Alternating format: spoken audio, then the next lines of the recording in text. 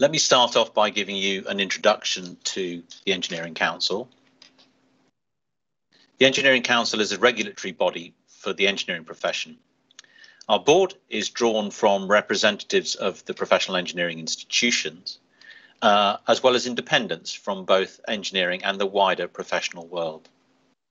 As a collaborative institution, the Engineering Council develops standards for formation and training, uh, as well as competence to practice and commitment to professional conduct, which includes acting in an ethical and sustainable manner. We define requirements for continuing professional development, which is why membership of one of our licensed professional uh, member institutions is core to registration as a professional engineer.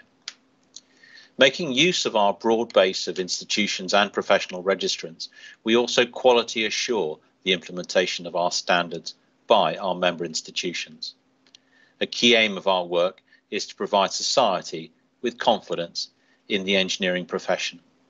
And these activities are all summarised on, on the next slide. So while professional registration is not a legal requirement to work on engineering projects in the UK, the register provides employers, government and society with confidence in the knowledge, experience and societal commitment of professionally registered engineers and technicians. We are therefore striving to encourage customers and suppliers of engineering services to demand this evidence of competence commitment in their own project teams as well as in their leadership structures and indeed their supply chains. The Engineering Council works with the global engineering community to harmonise and promote standards, and our own standards are therefore internationally recognised and address global challenges, as we'll hear today. The Engineering Council also publishes guidance in areas of emerging practice or strategic importance, such as sustainability, but also ethical conduct and cybersecurity, to name a few. We collaborate broadly to keep our standards and guidance relevant. For example, our Engineering Ethics Reference Group, a joint initiative with the Royal Academy of Engineering. So let's move on to tell you a little bit more about today. So the Engineering Council standards and our guidance on sustainability have recently been reviewed and updated with feedback from across the profession. The aim of this event is both to show the big picture of how internationally recognized standards and guidance develop engineering competence for a sustainable world and to drill down into how that supports individual engineers in their day-to-day work. Importantly, all our documents are available free on our website for any engineer, technician or employer to use. For those who are interested in seeking professional recognition, the first step is to join one of our licensed professional engineering institutions.